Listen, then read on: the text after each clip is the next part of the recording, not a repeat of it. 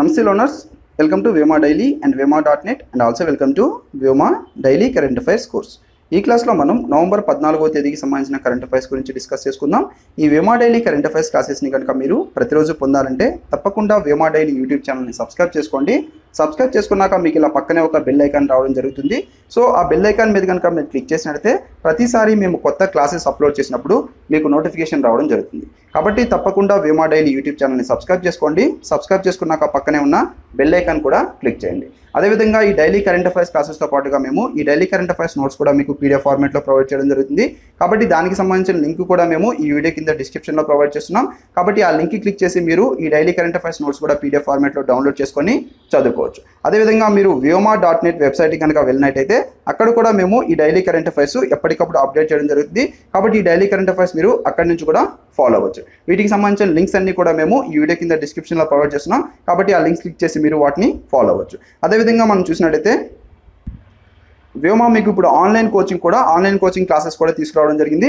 వీటిలో APSC group one కానీ two కానీ త్రీ కానీ ఫోర్ కానీ ఇవన్నీ క్లాసెస్ కూడా మీకు అవైలబిలిటీ ఉంటాయి. వీటి డీటెయిల్స్ కనుక మనం చూసినట్లయితే ఏపీఎస్సి రెండు వేల పద్దెనిమిది పంతొమ్మిది ప్యాకేజెస్ ఏ కోర్సు ఆ కోర్సు రేట్ ఎంత ఎంత కూడా డీటెయిల్స్ మీకు ఇక్కడ ఇవ్వడం జరిగింది.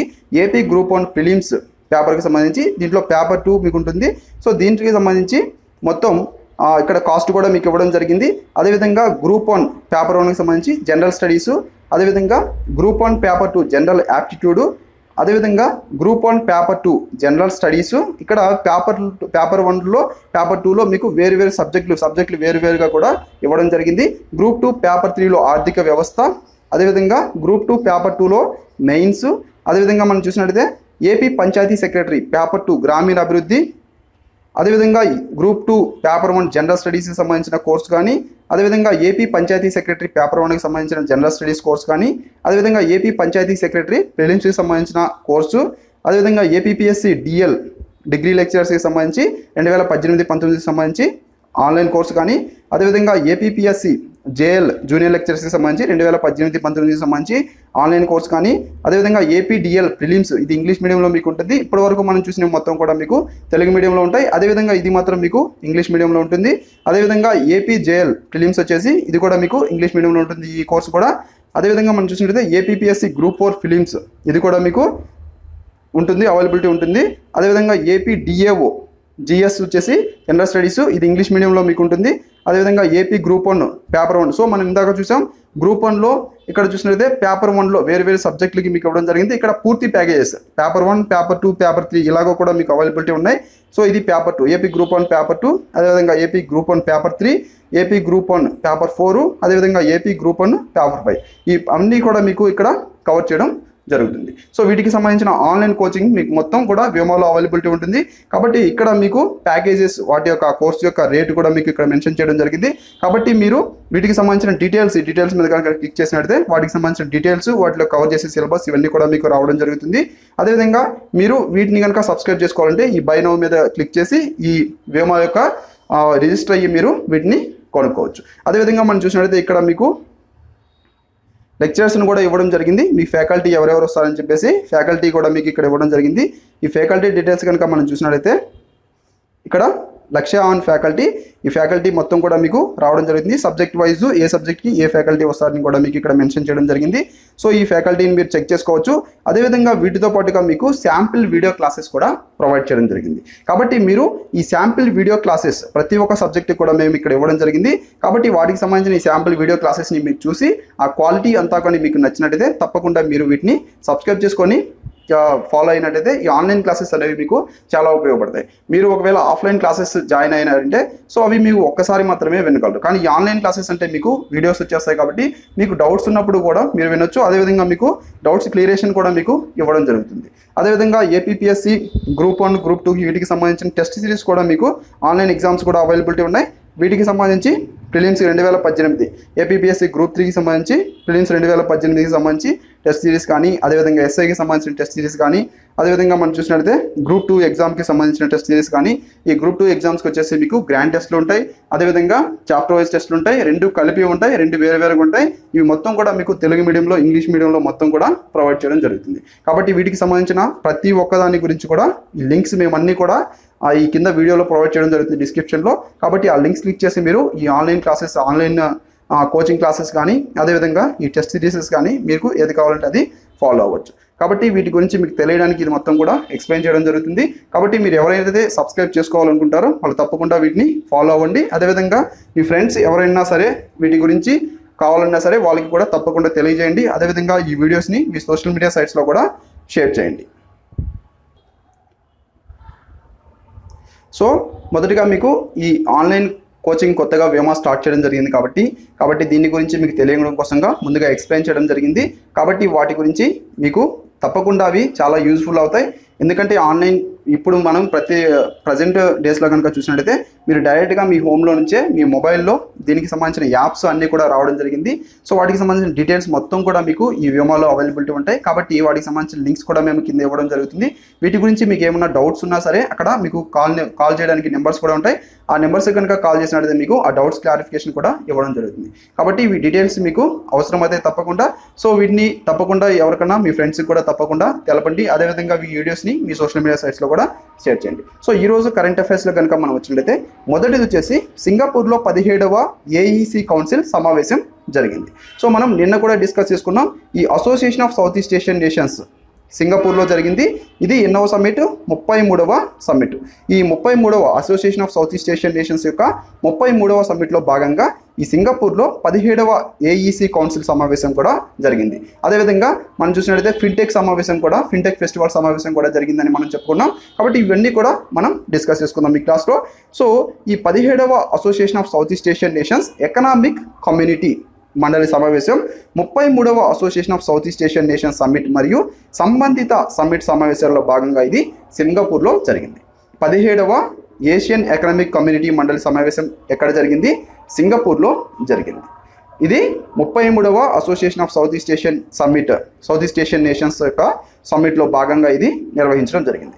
ఈ సమావేశంలో association of south east Asian nations economic మంత్రులు మరియు AEC economic community Asian economic community మంత్రులు కూడా దీంట్లో హాజరవ్వడం జరిగింది. అదేవిధంగా మనం చూసినట్లయితే association of south east Asian nations. దీన్ని పంతొమ్మిది వందల అరవై ఏడు ఆగస్ట్ ఎనిమిదవ తేదీన బ్యాంకాక్ డిక్లరేషన్ ద్వారా ఏర్పాటు చేయడం జరిగింది. దీని యొక్క ప్రధాన కార్యాలయం ఇండోనేషియాలోని జకర్తాలో ఉంది. ఏషియన్ యొక్క ప్రధాన కార్యాలయం ఎక్కడ ఉంది ఇండోనేషియాలోని జకర్తాలో ఉంది. ఏషియన్ యొక్క ప్రస్తుత secretary general Lim Jock Hoi. యాక్చువల్గా ఈ association of south east Asian నేషన్స్ని స్థాపించినప్పుడు దీంట్లో మొత్తం ఐదు సభ్య దేశాలు దీన్ని స్థాపించడం జరిగింది. అవి వచ్చేసి Indonesia Malaysia Philippines Singapore Thailand. ఈ ఐదుగురు సభ్యులతో పంతొమ్మిది వందల అరవై ఏడు ఆగస్టు ఎనిమిదవ తేదీన ఈ association of south east Asian nations స్థాపించడం జరిగింది. ఆ తర్వాత దీంట్లో మరో ఐదు సభ్య దేశాలు కూడా యాడ్ అవ్వడం జరిగింది. అంటే ప్రస్తుతం మనం చూసినట్లయితే ఈ association of south east Asian నేషన్స్లో పది శాశ్వత సభ్య దేశాలు ఉన్నాయి. ఈ పది శాశ్వత సభ్య దేశాలతో పాటుగా రెండు అబ్జర్వర్ స్టేటస్ ఉన్న దేశాలు ఉన్నాయి. ఆ రెండు అబ్జర్వర్ స్టేటస్ ఉన్న దేశాలు వచ్చేసి పపువా న్యూగినియా టైమూర్ లిస్టే పది శాశ్వత సభ్య దేశాలు వచ్చేసి Myanmar Thailand Cambodia Singapore Indonesia అదేవిధంగా Malaysia Vietnam Laos Philippines Brunei దర్శనం. ఇవి మొత్తం కూడా ఈ పది దీంట్లో association of south east Asian నేషన్స్లో శాశ్వత సభ్య దేశాలు దీంట్లో ఇండియా సభ్య దేశం కాదు. Association of south east Asian నేషన్స్లో భారతదేశం సభ్య దేశం కాదు. నెక్స్ట్ వచ్చేసి Stan Lee spider man iron man యొక్క సహ సృష్టికర్త అయిన స్టాన్లీ లేటెస్ట్గా మరణించడం జరిగింది. సో ఇతను అమెరికన్ కామిక్ బుక్ రైటరు మరియు మార్వెల్ కామిక్స్ సహ సృష్టికర్త స్టాన్లీ ఇతను లేటెస్ట్గా మరణించడం జరిగింది. అదేవిధంగా మనం చూసినట్లయితే నెక్స్ట్ కేంద్ర విద్యుత్ శాఖ మంత్రి ఇన్స్పైర్ రెండు వేల పద్దెనిమిదిని న్యూఢిల్లీలో ప్రారంభించాడు. కేంద్ర విద్యుత్ శాఖ మంత్రి ఇన్స్పైర్ రెండు వేల పద్దెనిమిదిని ఏ సిటీలో ప్రారంభించాడు? న్యూఢిల్లీలో ప్రారంభించడం జరిగింది. సో ఇక్కడ మనం చూసినట్లయితే ఈ ఇన్స్పైర్ యొక్క ఫుల్ ఫామ్ ఏంటి? ఇన్స్పైర్ అంటే international symposium to promote innovation and research in energy efficiency దీన్ని న్యూఢిల్లీలో దీన్ని ఎక్కడ ప్రారంభించారు? న్యూఢిల్లీలో ప్రారంభించారు. దీన్ని ప్రారంభించింది union minister of state independent charge for power and new and renewable energy mister RK Singh దీన్ని న్యూఢిల్లీలో ప్రారంభించడం జరిగింది. ఇది ఇన్స్పైర్ యొక్క రెండవ ఎడిషన్ ఇన్స్పైర్ రెండు వేల పద్దెనిమిది ఇది దీని యొక్క రెండవ ఎడిషన్ అదేవిధంగా ఎనర్జీ ఎఫిషియన్సీ సర్వీసెస్ లిమిటెడ్ ప్రపంచ బ్యాంకు. ఈ రెండింటి చేత ఈ ఇన్స్పైర్ రెండు వేల పద్దెనిమిది నిర్వహించబడింది. ఇన్స్పైర్ రెండు వేల పద్దెనిమిది నిర్వహించింది ఎవరు? ఎనర్జీ ఎఫిషియన్సీ సర్వీసెస్ లిమిటెడ్ మరియు ప్రపంచ బ్యాంకు. ఈ రెండు కూడా దీన్ని నిర్వహించడం జరిగింది. సో ఇక్కడ మనం చూసినట్లయితే ఈ సంతకం చేయబడిన ముఖ్యమైన అంశాలు. ఈ ఇన్స్పైర్ రెండు వేల పద్దెనిమిదిలో సంతకం చేయబడిన ముఖ్యమైన అంశాలు ఇవి మనకి చాలా ఇంపార్టెంట్ దీంట్లో గ్లోబల్ ఎన్విరాన్మెంట్ సౌకర్యం కోసంగా ఎనర్జీ ఎఫిషియన్సీ రివాల్వింగ్ ఫండ్ని ఇక్కడ ఏర్పాటు చేయడం కోసంగా మొత్తం పదమూడు మిలియన్ల యుఎస్ డాలర్ల ఒప్పందం పైన ఈ ఎనర్జీ ఎఫిషియన్సీ సర్వీసెస్ లిమిటెడ్ మరియు ఆసియా డెవలప్మెంట్ బ్యాంకు ఇవి రెండు కూడా సంతకం చేయడం జరిగింది. ఈ ఆసియా డెవలప్మెంట్ బ్యాంక్ అనేది యాక్చువల్గా పంతొమ్మిది వందల అరవై ఆరవ సంవత్సరంలో దీన్ని ఫిలిప్పీన్స్లోని మనీనాలో ఏర్పాటు చేయడం జరిగింది. ఆసియా అభివృద్ధి బ్యాంక్ని పంతొమ్మిది వందల అరవై ఆరో సంవత్సరంలో ఫిలిప్పీన్స్లోని మనీలాలో ఏర్పాటు చేశారు. దీని యొక్క ముఖ్య లక్ష్యం ఏంటంటే దీంట్లో ఏవైతే సభ్య దేశాలుగా ఉంటాయో ఆ సభ్య దేశాల యొక్క ఆర్థిక అభివృద్ధి వాటి యొక్క వాణిజ్యం కానీ పేదరికాన్ని తగ్గించడం కానీ అదేవిధంగా ఆ దేశాల్లో పర్యావరణాన్ని రక్షించడం వీటి యొక్క ముఖ్య లక్ష్యం అని చెప్పేసి మనం చెప్పుకోవచ్చు. పంతొమ్మిది వందల డెబ్బై నాలుగో సంవత్సరంలో ఈ ఆసియా అభివృద్ధి నిధిని ఏర్పాటు చేశారు. పంతొమ్మిది వందల డెబ్బై నాలుగో సంవత్సరంలో ఈ ఆసియా అభివృద్ధి నిధిని కూడా వాళ్ళు ఏర్పాటు చేయడం జరిగింది. అదేవిధంగా మనం చూసినట్లయితే ఈ Asian development bank Asia development bank యొక్క ప్రస్తుత చైర్మన్ వచ్చేసి హాకిహికో నాకావో. ఇతను జపాన్కి చెందిన వ్యక్తి. ఇతను రెండు వేల పదమూడవ సంవత్సరంలో దీన్ని ఆసియన్ డెవలప్మెంట్ బ్యాంక్ యొక్క తొమ్మిదవ అధ్యక్షుడిగా నియమించబడడం జరిగింది. అదేవిధంగా మనం చూసినట్లయితే ఈ ఈ విధంగా ఇవి గ్లోబల్ ఎన్విరాన్మెంట్ సౌకర్యం కోసంగా ఎనర్జీ ఎఫిషియన్స్ ఫండ్ రివాల్వింగ్ ఫండ్ని ఏర్పాటు చేయడం కోసంగా మొత్తం పదమూడు మిలియన్ల యూఎస్ డాలర్ల ఒప్పందం పైన ఈ energy efficiency services limited Asia development bank రెండు కూడా సంతకం చేయడం జరిగింది. అదేవిధంగా మరో ఒప్పందం చూసినట్లయితే భారతదేశంలోని వాణిజ్య మరియు పారిశ్రామిక రంగాల్లో సహజ వాయువు ఆధారిత కో జనరేషన్ మరియు ట్రై జనరేషన్ ఈ ప్రాజెక్టులను అభివృద్ధి చేయడం కోసంగా గెయిల్ ఇండియా మరియు ఎనర్జీ ఎఫిషియన్సీ సర్వీసెస్ లిమిటెడ్ ఇవి రెండు కూడా ఒప్పందం కుదుర్చుకోవడం జరిగింది. అదేవిధంగా energy efficiency services limited EESL యొక్క ఫుల్ ఫామ్ వచ్చేసి ఎనర్జీ ఎఫిషియన్సీ సర్వీసెస్ లిమిటెడ్ దీనిని రెండు వేల తొమ్మిది డిసెంబర్ పదవ తేదీన ప్రారంభించడం జరిగింది. దీని యొక్క ప్రస్తుత చైర్మన్ వచ్చేసి RK Singh Rajiv Sharma. Energy efficiency services limited యొక్క ప్రస్తుత చైర్మన్ ఎవరు? ఆర్కే సింగ్ రాజీవ్ శర్మ. ఇది కేంద్ర విద్యుత్ శాఖ మంత్రి పరిధిలో ఉంటుంది. ఎనర్జీ ఎఫిషియన్సీ సర్వీసెస్ లిమిటెడ్ ఈ క్రింది వన్లో ఏ మంత్రిత్వ శాఖ పరిధిలో ఉంటుంది? కేంద్ర విద్యుత్ శాఖ మంత్రి పరిధిలో ఇది పనిచేయడం జరుగుతుంది. అదేవిధంగా నెక్స్ట్ వచ్చేసి ఫుజో చైనా ఓపెన్ రెండు వేల పద్దెనిమిది మనం చూసినట్లయితే నవంబర్ ఆరో తేదీ నుంచి పదకొండవ తేదీ వరకు ఇది నిర్వహించడం జరిగింది. దీంట్లో విజేతలు కానీ అదేవిధంగా దీని గురించి మనం డీటెయిల్స్ చూద్దాం. సో ఈ రెండు వేల పద్దెనిమిది ఫుజో చైనా ఓపెన్ వచ్చేసి ఇది బ్యాడ్మింటన్ వరల్డ్ ఫెడరేషన్ ఇది వరల్డ్ టూర్ యొక్క ఇరవై మూడవ tournament. Badminton world federation world tour యొక్క ఇరవై మూడవ టోర్నమెంటు రెండు వేల పద్దెనిమిది ఫుజో చైనా ఓపెన్. ఈ టోర్నమెంట్ని చైనీస్ బ్యాడ్మింటన్ అసోసియేషను నిర్వహించడం జరిగింది. రెండు వేల పద్దెనిమిది ఫుజో చైనా ఓపెన్ టోర్నమెంట్ని ఎవరు నిర్వహించారు? చైనీస్ బ్యాడ్మింటన్ అసోసియేషన్ నిర్వహించింది. ఇది ఈ బ్యాడ్మింటన్ వరల్డ్ ఫెడరేషన్ ఏదైతే ఉందో దీని ద్వారా మంజూరు చేయబడింది. అదేవిధంగా ఈ టోర్నమెంట్కి మొత్తం బహుమతి వచ్చేసి ఏడు లక్షల డాలర్లు. సో దీంట్లో ఎవరైతే విన్నర్స్ ఉంటారో వాళ్ళకి ఈ నగదు అనేది అందించడం జరుగుతుంది. సో వీటిలో కనుక మనం విన్నర్స్ అదేవిధంగా రన్నర్అప్స్ కనుక మనం చూసినట్లయితే దీంట్లో మెన్స్ సింగిల్స్ అని ఉమెన్స్ సింగిల్స్ అని మెన్స్ డబుల్స్ అని ఉమెన్స్ డబుల్స్ అని అదేవిధంగా మిక్స్డ్ డబుల్స్ అని ఈ విధంగా మొత్తం ఐదు కేటగిరీలు ఉంటాయి. వీటిలో వచ్చేసి విజేతలు అదేవిధంగా రన్నర్అప్స్ వీళ్ళ లిస్ట్ కనుక మనం చూసినట్లయితే మెన్స్ సింగిల్స్లో జపాన్కి చెందిన కెంటో మొమోటో విజేతగా నిలవడం జరిగింది. దీంట్లో రన్నర్అప్ వచ్చేసి చైనీస్ తాపీకి చెందిన చోవోథియన్ చెన్. అదేవిధంగా ఉమెన్స్ సింగిల్స్లో విజేత వచ్చేసి చైనాకి చెందిన చెన్ యూఫీ. దీంట్లో రన్నరప్ వచ్చేసి జపాన్కి చెందిన నజోమి ఒకుహారా అదేవిధంగా మెన్స్ డబుల్స్లో వచ్చేసి విజేత ఇండోనేషియాకి చెందిన మార్కస్ ఫెర్నాల్డీ గిడియన్ అదేవిధంగా కెవిన్ సంజియా సుఖము సుకముజ్ సుకముల్జియో. అదేవిధంగా దీంట్లో రన్నరప్ వచ్చేసి చైనాకి చెందిన హీ జితింగు అదేవిధంగా థాన్ కియాంగ్. అదేవిధంగా మనం చూసినట్లయితే ఉమెన్స్ డబుల్స్లో సౌత్ కొరియాకి చెందిన లీ సోహీ సిన్ సియుంగ్ చాన్ వీళ్ళు విజేతలుగా నిలవడం జరిగింది. అదేవిధంగా వీటిలో రన్నరప్ వచ్చేసి జపాన్కి చెందిన మాయు మత్సుమోటో వకానా నగహారా అదేవిధంగా మిక్స్డ్ డబుల్స్లో విజేత వచ్చేసి చైనాకి చెందిన జెంగ్స్ యూ అదేవిధంగా హుయాన్ యాక్యామ్ దీంట్లో విజయ రన్నర్అప్స్ వచ్చేసి వాంగ్ ఇల్యూ హు- అదేవిధంగా హుయాంగ్ డాంపింగ్ వీళ్ళు విజేతలు అదేవిధంగా రన్నర్అప్ లిస్టులు సో ఇక్కడ మనకి ముఖ్యంగా ఈ women's men's singles women's singles మనకి చాలా ఇంపార్టెంట్ వీటిలో విజేతలు అదేవిధంగా వీటిలో రన్నర్అప్ అనేది ముఖ్యంగా గుర్తుపెట్టుకుంటే సరిపోతుంది. అదేవిధంగా మనం చూసినట్లయితే డాక్టర్ దేవభూషణ్ బోరా మునిక్ మునిన్ బర్కోటోకి సాహిత్య అవార్డుని పొందాడు. సో ఈ అవార్డు పేరు వచ్చేసి మునిన్ బర్కోటోకి సాహిత్య అవార్డు. దీనిని పొందింది డాక్టర్ దేవభూషణ్ బోరా. యువ రచయిత విమర్శకుడు డాక్టర్ దేవభూషణ్ బోరా. దేవభూషణ్ బోరాకు అస్సాంలో ప్రతిష్టాత్మక మునిన్ వర్గ బర్కోటోకి ఆ అవార్డు రెండు వేల పద్దెనిమిది ఇవ్వడం జరిగింది. రెండు వేల పద్దెనిమిది మునిన్ బర్కోటోకి లిటరరీ అవార్డు ఈ క్రింది వాణిలో ఎవరు గెలుచుకున్నారు? డాక్టర్ దేవభూషణ్ బోరా. చాలా ఇంపార్టెంట్. అదేవిధంగా డాక్టర్ దేవభూషణ్ బోరా రాసిన పుస్తకం వచ్చేసి నిర్భోచోన్ డాక్టర్ దేవభూషణ్ బోరా రాసిన పుస్తకం పేరేంటి? నిర్బో చోన్.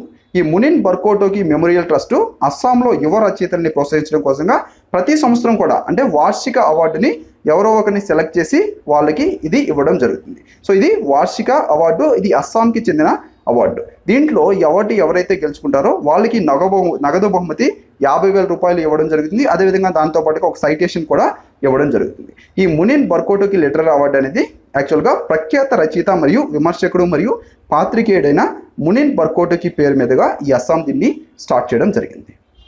మునిన్ బర్కోటోకి అవార్డు రెండు వేల పద్దెనిమిది మునోన్ మునిన్ బర్కోటోకి లిటరరీ అవార్డు రెండు వేల పద్దెనిమిది ఎవరు గెలుచుకున్నారు?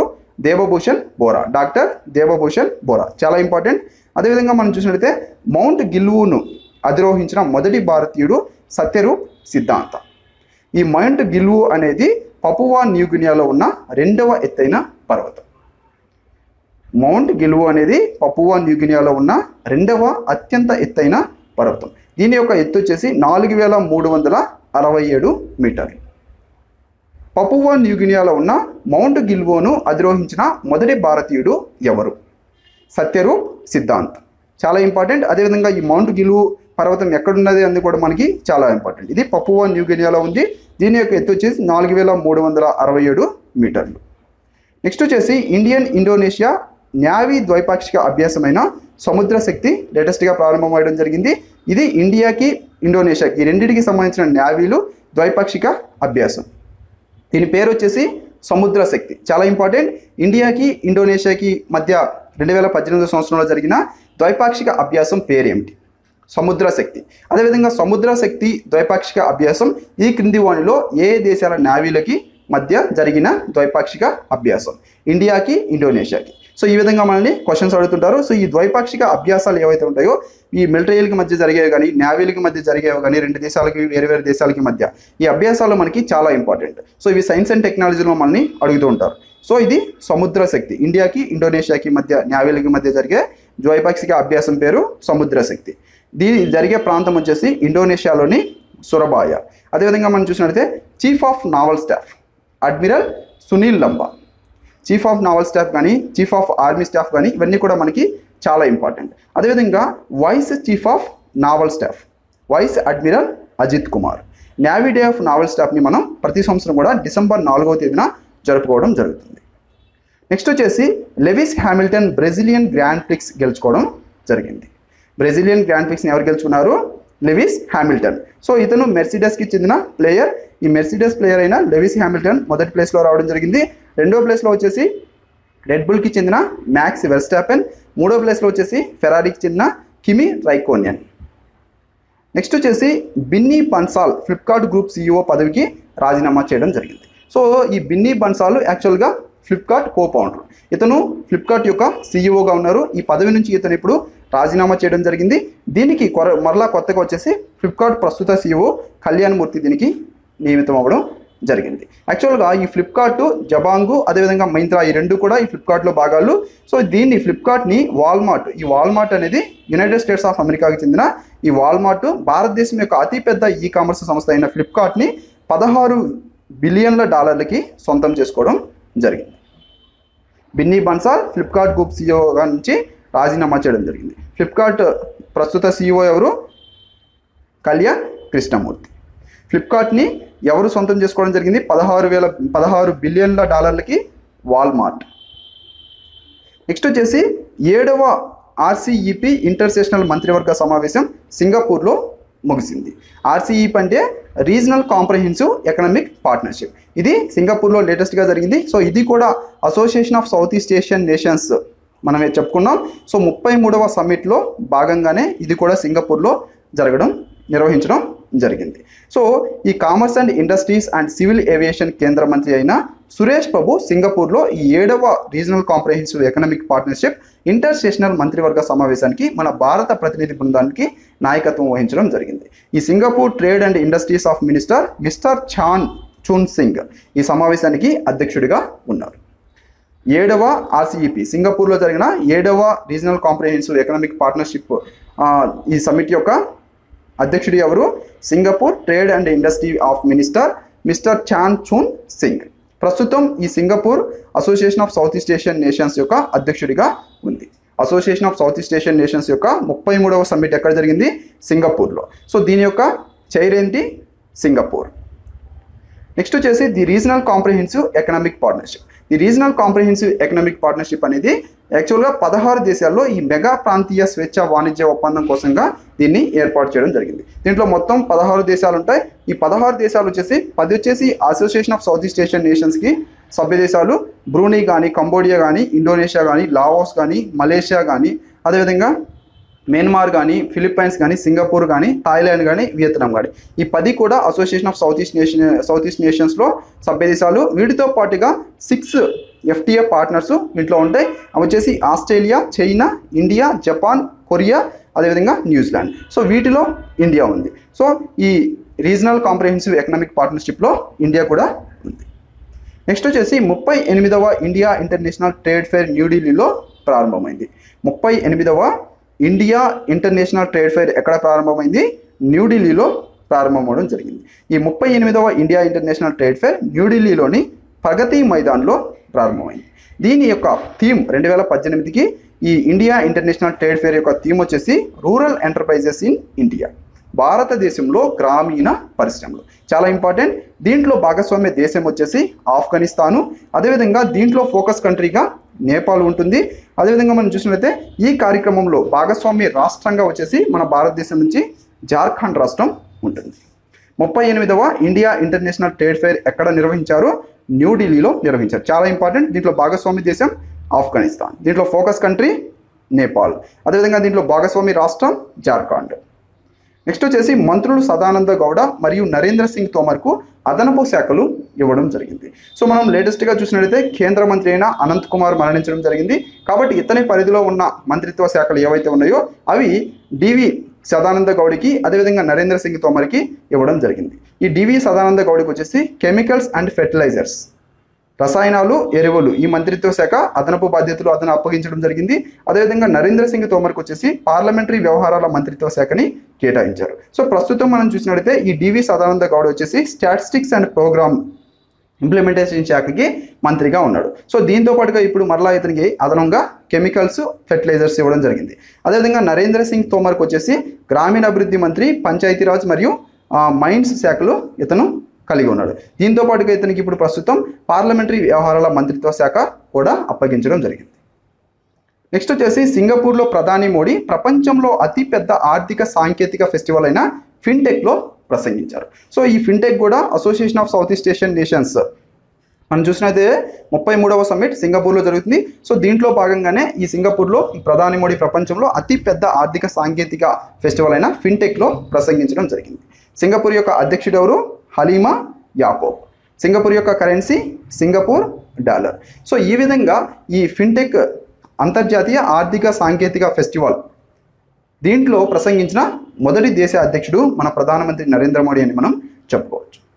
అదేవిధంగా నవంబర్ పద్నాలుగో తేదీన మనం చూసినట్లయితే ఈ చాచా నెహ్రూ జయంతి సందర్భంగా మనం జాతీయ బాలల దినోత్సవాన్ని జరుపుకుంటున్నాం.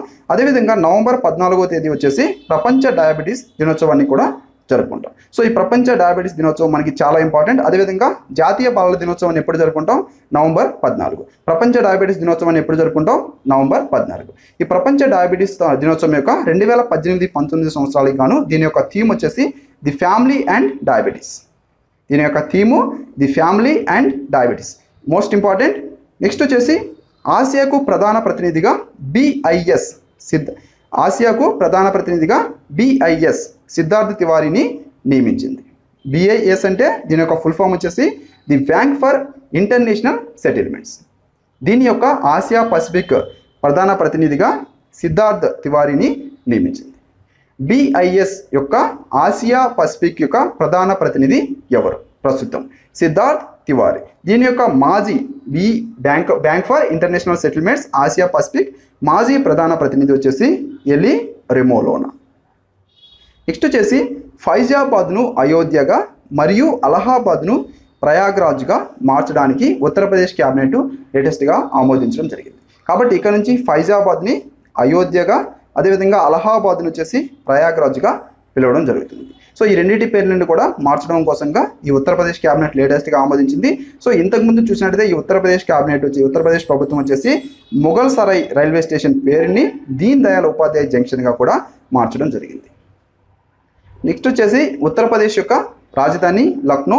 ఉత్తరప్రదేశ్ యొక్క ప్రస్తుత ముఖ్యమంత్రి యోగి ఆదిత్యనాథ్ ఉత్తరప్రదేశ్ యొక్క ప్రస్తుత గవర్నర్ రామ్ నాయక్. ఈ ఉత్తరప్రదేశ్ అనేది భారతదేశంలో ఎక్కువ జనాభా కలిగి ఉన్న రాష్ట్రం. అన్ని రాష్ట్రాల కంటే కూడా ఉత్తరప్రదేశ్ ఎక్కువ జనాభాని కలిగి ఉంది. అదేవిధంగా మనం వైశాల్య పరంగా చూసినట్లయితే భారతదేశంలో నాలుగవ అతిపెద్ద రాష్ట్రం ఉత్తరప్రదేశ్. దీంట్లో మొత్తం నాలుగు వందల నాలుగు శాసనసభ సీట్లు ఉంటాయి. ఈ నాలుగు వందల నాలుగులో నాలుగు వందల మూడు సీట్లకు మాత్రం ఎలక్షన్స్ జరుగుతాయి. అదేవిధంగా ఒకరిని మాత్రం ఇక్కడ ఇండైరెక్ట్గా వాళ్ళు ఎంపిక చేయడం జరుగుతుంది. అదేవిధంగా దీంట్లో పార్లమెంట్ సీట్లు చూసినట్టే లోక్సభలో ఎనభై సీట్లు అదేవిధంగా రాజ్యసభ సీట్లు వచ్చేసి ముప్పై ఒకటి ఈ ఉత్తరప్రదేశ్లో ఉన్నాయి. ఈ ఉత్తరప్రదేశ్ అనేది బై క్యామరల్ లెజిస్లేచర్.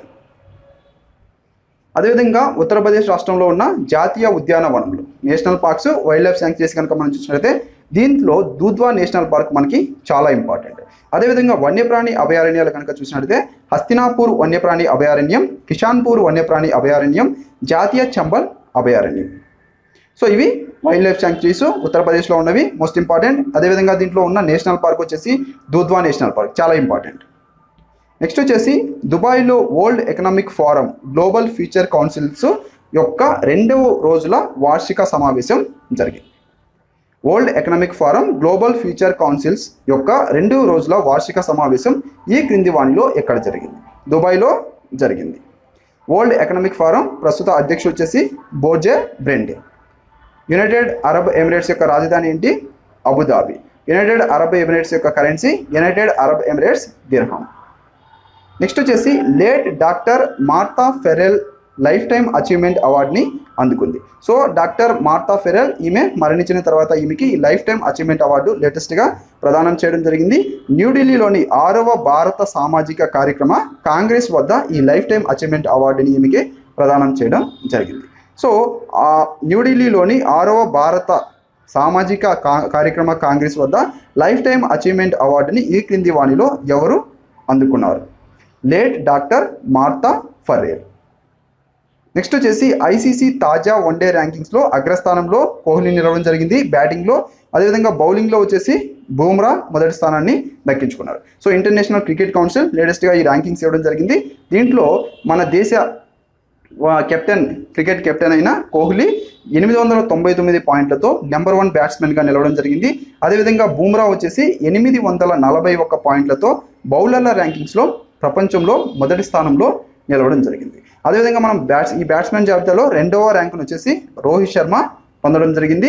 అదేవిధంగా మనం టీమ్ ర్యాంకింగ్స్లో కనుక చూసినట్లయితే ఇంటర్నేషనల్ క్రికెట్ కౌన్సిల్ యొక్క టీమ్ ర్యాంకింగ్స్లో ప్రస్తుతం ఇంగ్లాండ్ వచ్చేసి మొదటి స్థానంలో ఉంది ఈ వన్డేల్లో అదేవిధంగా భారతదేశం వచ్చేసి రెండో స్థానంలో నిలవడం జరిగింది. నెక్స్ట్ వచ్చేసి international cricket council. International cricket కౌన్సిల్ని పంతొమ్మిది వందల తొమ్మిది జూన్ పదిహేనవ తేదీన దీన్ని స్థాపించడం జరిగింది. దీని యొక్క ప్రధాన కార్యాలయం యునైటెడ్ అరబ్ ఎమిరేట్స్లోని దుబాయ్లో ఉంది. చాలా ఇంపార్టెంట్ ఇది. ఇంటర్నేషనల్ క్రికెట్ కౌన్సిల్ యొక్క ప్రధాన కార్యాలయం ఎక్కడ ఉంది? యునైటెడ్ అరబ్ ఎమిరేట్స్ దుబాయ్లో ఉంది. దీని యొక్క ప్రస్తుత chairman Shashank Manohar. International cricket council యొక్క ప్రస్తుత చైర్మన్ శశాంక్ మనోహర్. దీని యొక్క ప్రస్తుత చైర్మన్ డేవిడ్ రిచర్డ్సన్. సో ఇవి ఈరోజు కరెంట్ అఫైర్స్ తప్పకుండా వీడియో నచ్చితే లైక్ చేయండి. అదేవిధంగా ఈ వీడియోకి కామెంట్ చేయండి. అదేవిధంగా తప్పకుండా ఈ వీడియోని మీ సోషల్ మీడియా సైట్స్లో ఫేస్బుక్లో కానీ వాట్సాప్లో కానీ ట్విట్టర్లో కానీ లేదా ఇతర సోషల్ మీడియా సైట్స్లో కానీ తప్పకుండా షేర్ చేయండి. Thank you